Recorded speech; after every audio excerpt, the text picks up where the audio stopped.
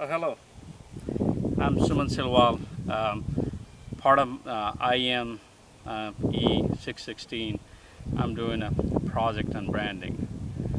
Um, when I when I picked up this topic, branding, uh, it was very unknown to me to think how I'm going to brand and how what the brand is really. Anytime people think about the brand, we, we think about Coca-Cola, Pepsi, Nike. Those are the well-known brand. Maybe Michael Jordan, some personal brand. But but as you think about me as a brand, it's it's it's something unheard of. And how can I make myself a brand?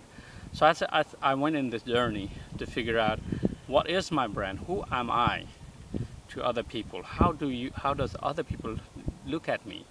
So I decided to go through this journey. Knowingly or unknowingly, it looked like I've been branding myself back in 2007, uh, September, October, November of 2007.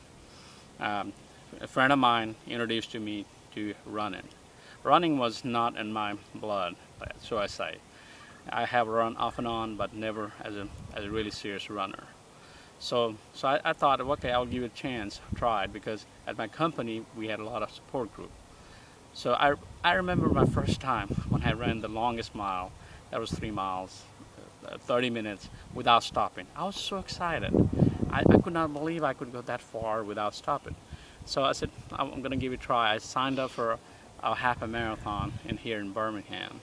So I ran. Uh, during that period, I was training with a group of people um, that I didn't know. When I, especially when I first time when I ran with them, they were. When I met them, they couldn't believe that I was, I was just, you know, I have never run before, and also, when I after the finish, when I got introduced, when I got back in office, and I checked their names and what their status, I realized there's there's some of them are, a couple of them were a VP, executive uh, vice president of my company, and some of the head of department, different department, not my department. So it was kind of, you know, I already was start building my network through to the running. Um, so during during the IEM, first year of IEM, I ran two marathons. Um, that was still okay. The last year when when when we went through uh, 2009, when we went through this uh, topic of looking at our brand, ourselves, um, um, uh, talking about our passion, the running came to me over and over again. I went through the circle and circle, figured out, and went through the whole, whole, um, whole, uh, um, uh, whole um, uh, idea of filtering and everything, funnel process. That's what I'm thinking. Sorry. That that during that period, the running came over and over. I said, okay, let's let me see how what can I do. So throughout, um, so I, I, decided to go ahead and go ahead and sign up for six marathons. Uh, some of those thinking running six marathon in six months. That was that was the thing, and I knew that by by the time I finished my sixth marathon, I maybe brand myself or my, my brand will be well known. Sure enough, I I started my journey back in June. Start training. My first marathon was was was uh, was at Toronto. Um, as you, I have collected the, the medals. I'm going to go through right now and, and go through one one medal at a time. Toronto. This is where a lot of my family and part of my family lives here. And they were so excited for me to come there. I had a joy of being being with being with uh, being with the family, and they were happy to see me there. The next came New York New York Marathon. For New York Marathon, you really have to um, win a lottery or some sort of qualify or or raise some money. What I did is this was my first time ever I raised money for a charity. Now, so that raising money for charity, what it gave me is is really I got connected with, as you can see, I, I was connected with Rotary Club. I was a team Rotary team Rotary, Rotary Club in New York. Uh, also, I was teamed with the Rotary Club of Birmingham. With that, I got connected with so many different people, and um, also I raised money for for uh, uh for different reason. Um, main main thing is different, and I, I raised uh, more than twenty five hundred dollars. That was the first time ever I have done that. I have decided I will do continue doing that. Part of my and also part of my part of my branding, future branding. Well, I'll talk about that a little bit. And also throughout throughout this period, I ran three marathons in three months in in uh, in in um, in Alabama. There's only a few elite people has ran this this thing. This year we graduated 35 people ran out of all the marathoners running uh, three marathons in three months. So that's a tough, ch tough challenge. And um, during that three, I ran a Huntsville marathon. That was my PR. I, I finished three, three hours and 43 minutes. So also that gave me a lot of respect within my running community. And people start noticing me as, as, I, as I ran and people talk about me and said, hey, this guy's running six marathons six months and he's trying to run. At, at least that time I was trying to run. Um, I ran a Mercedes. Um, after running a Mercedes marathon this year, I was totally destroyed and distraught. But I knew that to, to, to I had made a commitment to myself and to my brand that I'm going to continue. So the challenge came to run Atlanta Marathon.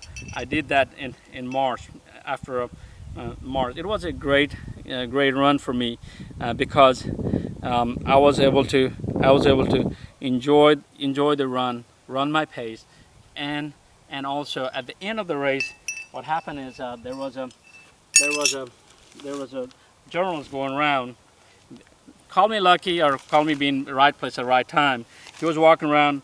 He actually found me and we talked about my running six marathons in six months. Actually it's published in Atlanta Journal Constitute. As you can see this is sports sections of sports section of the, of the of the newspaper. I don't know where to find the front page um, but it is it is a sports section of, a, of, of, the, of the newspaper. And, um, and you can see that, that my, my little, little blips of, of my, um, my, my story was published here. And also I have, I have, I have blogged, talking about blog, throughout this, throughout this period, I also have blogged mruns.com. That's where I, have put a lot of my, my work as well as people, some of the other people who's who are uh, one of one of one of the person who's running is a Boston marathoner. She will be running tomorrow, I think. Um, yeah, it is tomorrow. Uh, she will be running the Boston Marathon. So, so as you can see that as I, as I went through building process of my my brand, I have gone through a lot of a lot of a lot of different a lot of different hard works and and uh, a lot of different uh, tackling a lot of different things. And also throughout this time, I I, I collected a lot of medals. And as you can see, they're, they're not only marathon medals, there are 5Ks medals and, and uh, other medals I have correct, collected. Even, even, even as, as, as far as last week, I actually collected, collected a medal. When I, especially, it was funny that when I walked into that, uh, to that race, um, a couple of guys came to me and said, they said, well, someone you are here, now we have no chance to win. And so you know that I have made some impression on, on people about, about about my running. So, so, so, so what did I do? How, how what, what did I do here? And this this period of time, what was my, my story? If you look at it, what I did is I went after what was my passion. My passion was running, and I took it my heart and and went forward and and and try to make make myself known and make make myself a brand. Uh, people know me as a marathoner now. Um, I have made, made, a very good good impression.